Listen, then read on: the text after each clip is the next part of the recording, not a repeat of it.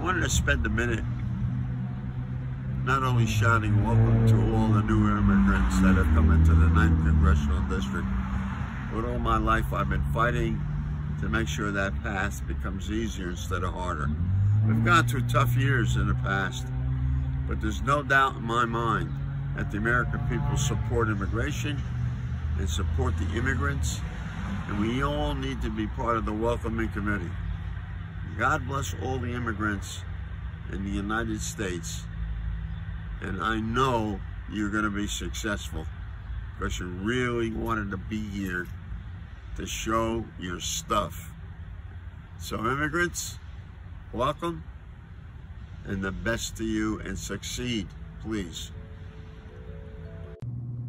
Hello, my name is Deirdre Webster Cobb, and I am the Chair and Chief Executive Officer of the New Jersey Civil Service Commission.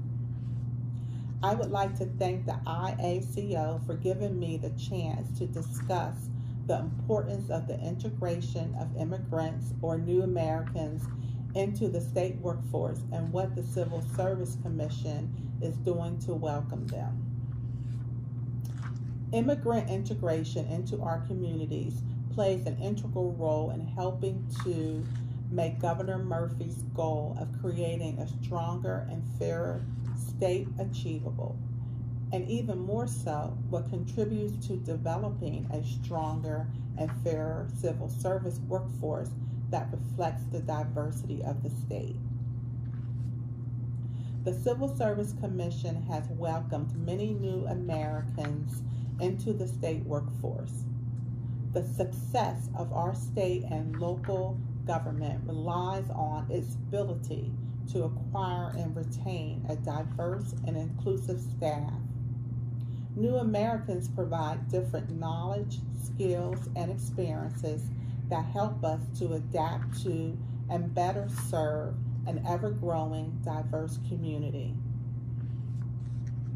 Throughout the pandemic, new Americans have made major contributions as frontline and essential workers, providing for and helping those in need. Their hard work and dedication as public servants have not gone unnoticed, and I thank them for all that they have done. You can be the change we need. You can help build a stronger and fairer New Jersey. Each of you have the ability to make a difference in the lives of our fellow New Jerseyans, especially that of the new Americans that will succeed you. If you do not know where to begin on applying to the various open positions within state and local government, I welcome you to join us from one of our virtual information sessions that will be hosted next month in honor of Hispanic Heritage Month. During these sessions, my team will help guide you through the application process and answer any questions you have pertaining to the process. I look forward to one day seeing you in the halls of one of the various state departments and agencies, or even at the Civil Service Commission. Remember, CSC works for you. Thank you.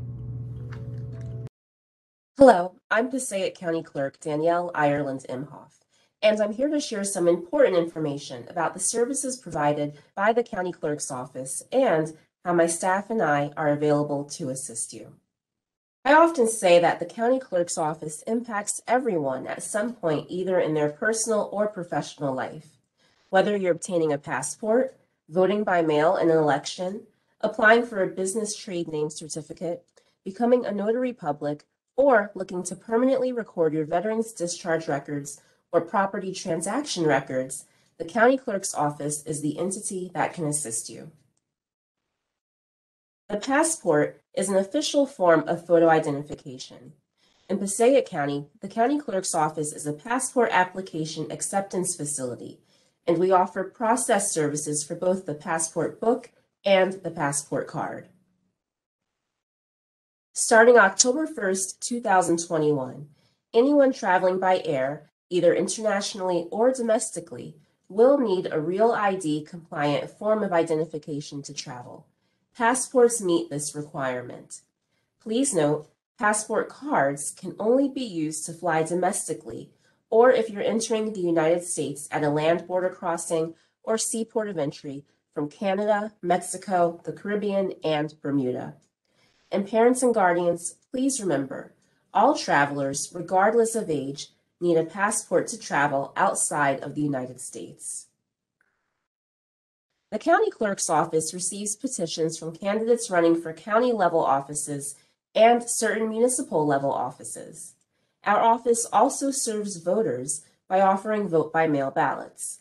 As a convenient alternative to voting in person at your polling place on election day, you can register in advance to vote by mail. My office will mail you your ballot, which you then complete and return to the Board of Elections in order to cast your vote. The county clerk also certifies election results to the New Jersey Secretary of State. A certificate of trade name is required by law to be recorded in the county clerk's office by anyone who wishes to start a sole proprietorship or partnership business in Passaic County. These certificates are often required by banks to open your business's bank account. Prospective business owners can also verify with our office that the desired trade name is not currently in use in the county or as a corporation or LLC in the state of New Jersey. A notary public serves as a neutral witness to the signing of important documents by making sure that the document is properly executed with all necessary information. The document is factual and attesting to the signatures on the document.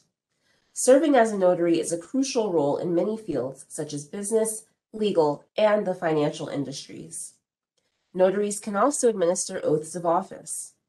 If you're interested in starting the process to become a notary public, you can pick up an application at our office or visit the State of New Jersey's website to begin the application process.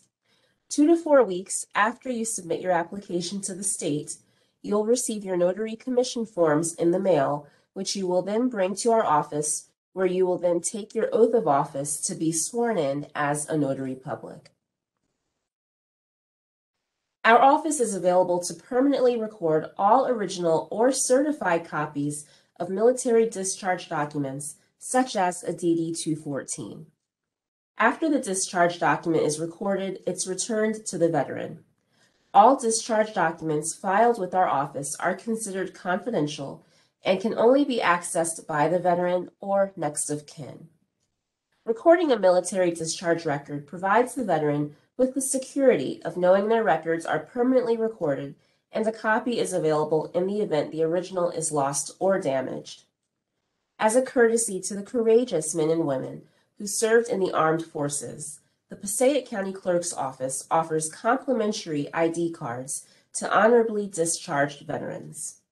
The photo ID card provides access to receive discounts and benefits from stores, restaurants, and attractions throughout Passaic County. Registering veterans will also have early access to exclusive veterans events and information specific to Passaic County. One of the county clerk's office's long-standing duties is the recording of legal documents involved in the buying and selling of property, such as mortgages or deeds. There are fees set by state law for recording these documents, and a list of the fees is available on our website. Existing documents are available to be searched in person in our map room or vault by appointment. In an effort to be as convenient and accessible as possible, many documents are available to be searched online through the portal on our website. According to the FBI, property and mortgage fraud is one of the fastest growing white collar crimes in the United States. To address these concerns, we offer a free notification service to receive a text or email if a property document bearing your name is recorded in the Passaic County Clerk's office. If you receive an alert, you can then quickly take the appropriate next steps with law enforcement agencies. The Passaic County Clerk's office has two convenient locations in Passaic County, so that no matter which part of the county you live in, you can quickly and easily come to the office when needed. Due to the unprecedented times we're in, All customers are required to have an appointment, so be sure to call or email our office before coming. No matter how big or small your question is, please contact us and we are more than happy to assist you. It's an honor for us to serve Passaic County's residents. Everything that has been raised during this uh, three-day forum, it's quite interesting and we've had the opportunity to share this online and we are united spiritually and for the same cause. We want to work and keep working for immigrants. And in June, we did this event because we know this is the month of Hispanic heritage. And we've received some proclamations in IACO first by President Joe Biden, where he uh, talked about the contributions and the purpose of his government to help and acknowledge the work of immigrants. And that's why we received this uh, proclamation on this Heritage uh, Month uh, for immigrants and the proclamation of uh, New Jersey and Governor Phil Murphy, who mm, became a friend of the immigrants cause and made a special proclamation. And some mayor's offices where there are Hispanic populations, for instance, uh, mayor's office of Passaic and also Newark. And Prospect Park as well, and Paterson also. So this is an acknowledgement by authorities on the efforts uh, made by immigrants and also organizations such as IACO with an important role. And that's something we've highlighted in Telemundo. We always mention that's why we support events such as this one, which is uh, essential. That's why we're reaching the end. And I would like to invite the director of IACO, Gustavo Ramirez, for him to share final words about this event. But first, congratulations for this uh, three days of event. Thank you, Luis Alejandro. First of all, I wanted to thank personally uh, for your cooperation and your support uh, that has always been unconditional, and also the support from Telemundo and different organizations that have been with us in this process. We are reaching the end of the beginning. And this is the beginning because what we want is that from now onwards, we have a new beginning for all organizations and for the whole community and different agents that participate in our society move forward in terms of integration of immigrants. And the purpose of this uh, conference is the purpose we've served on a daily basis uh, with our communities, immigrants, and different organizations. And what we aim is at making our state, our country, and even the world a healthier uh, place in the world, friendlier and mm, more fair. So I would like to thank everyone from the bottom of our hearts of on behalf of IACO because the, uh, all the panel that participated and all different organizations, but especially those persons who have uh, connected virtually to this webinar, to this conference from their mobile devices, from their homes, and that have participated. And wanted to mention that if we take actions, if we are not passive, if we get informed and we eh, coordinate actions and we keep working jointly, we will be able to have a better society. This is uh, a conference that has been done annually. Next year, we will continue with this conference and from IACO, we will keep working for the integration of immigrants and we expect there are people uh, that have participated in our conference. We expect them to take part in our mm, conference next year. So again, I would like to thank you and uh, especially and above all, the whole technical team, support team, the IACO personnel, the board of directors, and everyone behind scenes making this possible. And uh, without your hard work, we wouldn't have been able to uh, succeed in this uh, conference. So thank you, dear colleagues. Thank you, members of the board. And thank you all who have been listening to us and um, participating. Eliana, the floor is yours to adjourn this um, event uh, the best possible manner. Thank you very much. For our organization, IACO, the work that we've carried out has been truly gratifying. The mission was and continues being to support the immigrant community. As we all know, immigrants have come to the US to, well, through throughout the ages to find better quality of life and for different reasons. And we face so many challenges and barriers. The goal of our organization is to support and help this community in order to achieve better quality of life, as Gustavo mentioned, to achieve inclusion and to unite the truth is that the mission and the goal of our conference has been achieved. It's truly gratifying to see the number of people who have connected from all around the US, not only from New Jersey, and also to have had so many wonderful panelists, people who were so generous in sharing amply all of their knowledge and experience, logically, this conference would not be possible without the participation of the community itself. So I would like to thank you all, give you a special uh, thanks for receiving our invitation, for finding time out of your busy lives to become a part of this and to add your grain of sand in order to really integrate.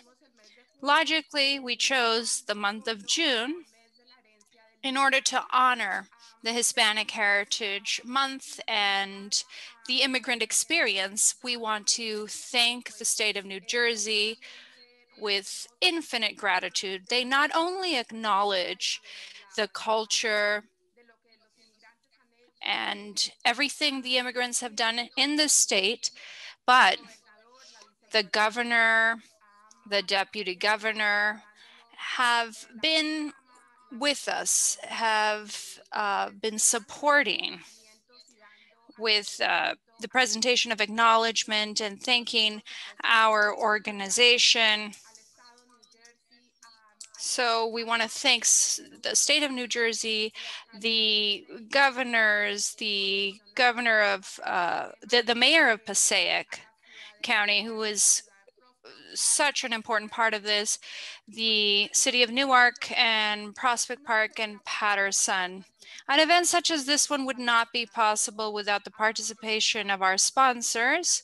So I would like to take advantage of this opportunity to thank the Hispanic Center of Research and Development, known as the CHBRD, Verizon, St. Joseph's Hospital, the City of Passaic, Telemundo, of course. Luis Alejandro, thank you so much for being with us, for being our moderator, and also for the attorneys, the attorney bar of New Jersey for lending your services and your legal consult in a confidential way and in a pro bono manner.